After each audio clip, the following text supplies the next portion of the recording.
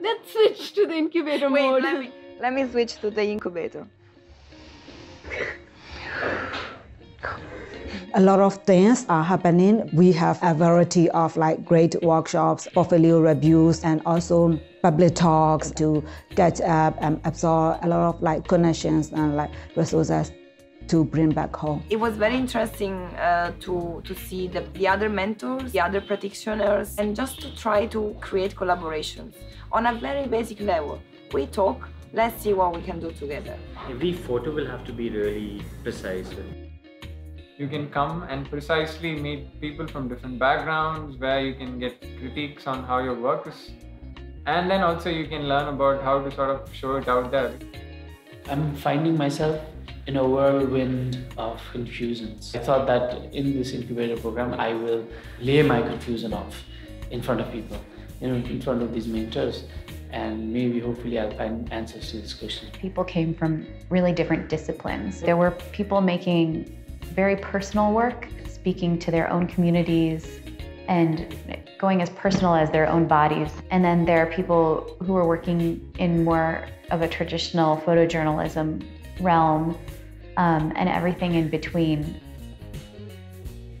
I got some clarity about my work. They asked me also a few questions that also really helped me. So it's important, like for the work itself, to grow and build uh, with all these inputs, and also it's really nice to know what can happen with the work once it's produced or as it's being produced. Like what does what are the options for this work to travel? Like how does this work get seen by people? I thought it'd be interesting to see what other peers from South Asia are doing. History of photography most of the times is very dominated by West. Uh, I think it's good to have a solidarity within the region.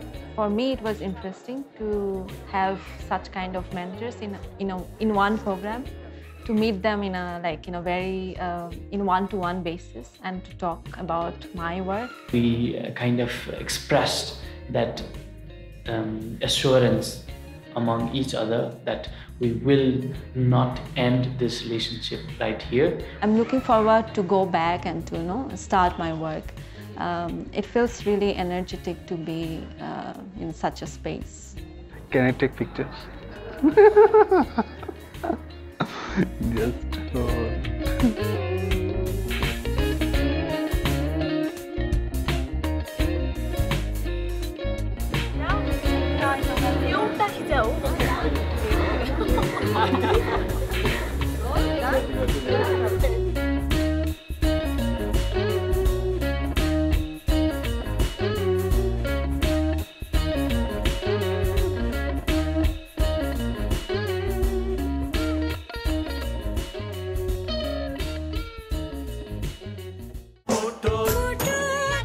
Kathmandu, Kathmandu, Kathmandu.